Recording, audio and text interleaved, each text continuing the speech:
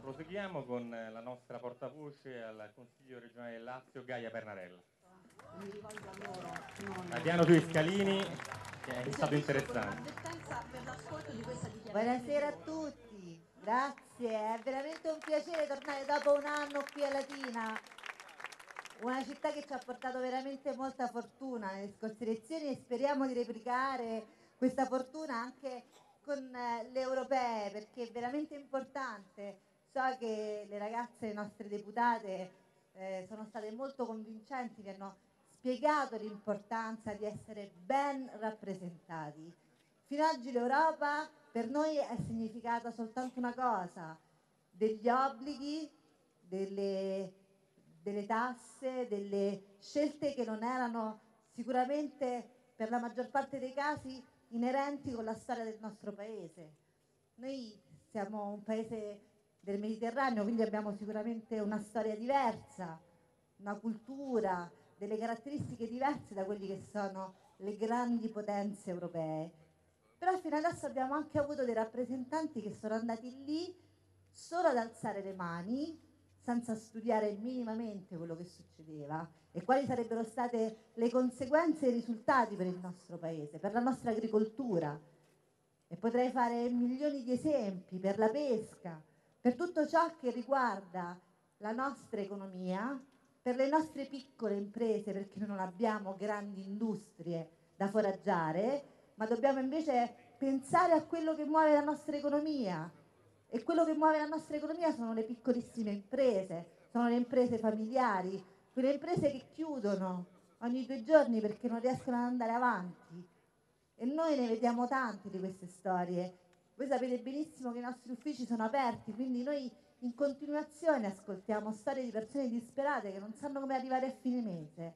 E noi le soluzioni ce le abbiamo, le proponiamo, le coperture, i ragazzi sanno benissimo che ci sono, vi, vi spiegano in continuazione, o almeno ci provano a spiegarvi dove si trovano i soldi per risollevare la nostra economia. E adesso finalmente arrivano questi fondi europei che il PD e non so come chiamarlo, il centrodestra, Forza Italia, vabbè, comunque quella gente lì si riempie la bocca dicendo che adesso loro risolveranno il problema dell'Italia grazie ai fondi europei.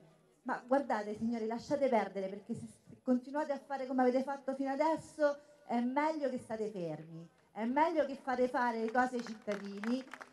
La- il 2013 è stato l'anno della partecipazione dei cittadini in Europa. Qualcuno ve l'ha informato? Qualcuno è venuto da voi a chiedervi come volevate che venissero gestiti i fondi europei? Non mi sembra. La partecipazione dei cittadini è una cosa che spaventa i partiti, perché non possono più fare i loro, i loro comodi, non possono più andare dalle persone che sono vicine, dai loro amici, dalle loro lobby, dai loro cerchi di influenza a dire ecco ti abbiamo portato, ti abbiamo portato quello che volevi, adesso mi raccomando, mi raccomando ai voti che porti al nostro partito. Noi non ne vogliamo più questi meccanismi, non vogliamo più queste dinamiche, noi vogliamo andare, decidere, essere partecipi della nostra politica, ma voi dovete farlo. Cioè, adesso che inizia la nuova settennale e inizia la presidenza italiana, abbiamo il dovere e il diritto di essere ben rappresentati in Europa. Abbiamo da poco approvato una delibera in regione perché sapete i fondi europei passano per la regione Lazio e io essendo in commissione insieme al nostro staff ci siamo messi lì a studiare punto per punto come verranno chiesti questi soldi, dove andranno i soldi per l'Italia e soprattutto per la regione Lazio che è tra le due regioni che hanno più, eh, che danno più soldi all'Europa e quindi che dovrebbero riceverne di più. Beh, signori, qua è uscito fuori di tutto, perché loro sono bravissimi a prenderci in giro. Uno dei temi fondamentali è l'inclusione sociale, cioè andiamo in Europa a chiedere soldi per l'inclusione sociale, ma come loro, loro che fino adesso ci hanno affamato, loro che non ci garantiscono nulla dei diritti fondamentali che uno Stato europeo nel 2014 dovrebbe avere come dati. E parlo del diritto al lavoro, del diritto alla casa, del diritto avere una vita dignitosa per gli anziani e per i disabili. Loro non sono stati in grado, fino ad oggi, in 20 anni che ci governano, a, a dare a noi questi diritti fondamentali. Adesso vanno in Europa a chiedere i soldi, ma sono sempre loro che vanno lì, chiedono i soldi, solamente perché sanno che c'è un gruzzoletto, ma non sono in grado di gestirli, non sono in grado di fare una programmazione, non sono in grado di scrivere un budget chiaro, perché non è possibile che un progetto arrivi in corso d'opera a costare milioni di euro in più, perché devono far mangiare tutti i loro amici e quindi questi soldi si perdono e l'Italia rimane sempre indietro perché loro non sono in grado di gestire questi soldi e quando riescono a prenderli devono spartirli con i loro amici e non fanno nulla per noi. E questo è solo un esempio, perché poi potremmo parlare dell'altro grande macrotema su cui l'Europa è impegnata, cioè la riduzione di CO2. Beh, il CO2 li riduciamo se smettiamo di dar da mangiare a mostri come inceneritori e discariche.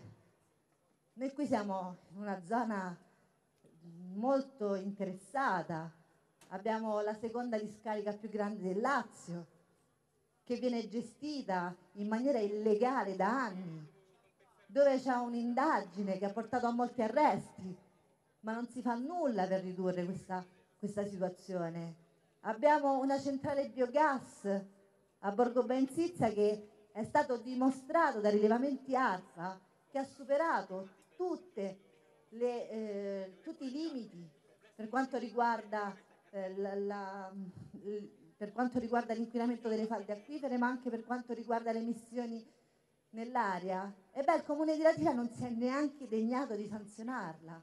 Perché cosa volete? Cioè, sono, cioè, questa è l'economia che noi vogliamo. In questo modo noi andiamo avanti. E poi andiamo in Europa a dire no, noi ci impegniamo a ridurre il CO2. Ma come? Con una mano fate una cosa e con l'altra invece fate l'esatto contrario. Ma credete veramente che noi abbiamo ancora l'anello al naso? Cioè, credete veramente che potete continuare a prenderci in giro in questo modo? Basta, no?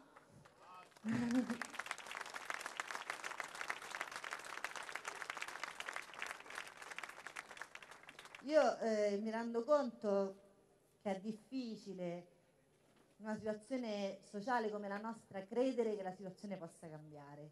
E però noi lo dobbiamo fare, è il minimo che possiamo fare, il minimo che possiamo fare è il 25 maggio andare a votare e mandare finalmente queste persone tutte a casa perché come dicevano le ragazze prima non possiamo più fidarci di loro, è impossibile, non c'è via d'uscita, dobbiamo per forza di cose cambiare la situazione, la cambiamo con questa rivoluzione democratica che abbiamo deciso di portare avanti, la cambiamo da dentro.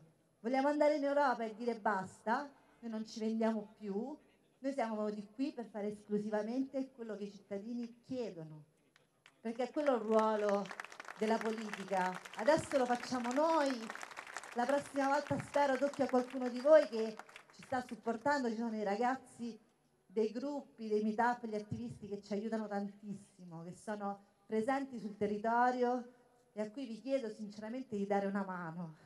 Veramente dedicare 5 minuti della vostra vita per fare qualcosa anche voi e per aiutare noi che siamo lì dentro e che siamo sempre disponibili ad ascoltare tutti e a portare la voce dei cittadini che sono appunto loro che devono dire a noi quello che dobbiamo fare e non viceversa. Ecco, iniziate a controllarci, controllate noi, controllate pure loro e sicuramente le cose cambieranno piano piano, non facciamo grandi rivoluzioni, non facciamo promesse elettorali, ma chiediamo a voi un po' più di impegno e noi continueremo a mettercelo fino a quando eh, ci sarà data la possibilità di lavorare per voi. Grazie. Non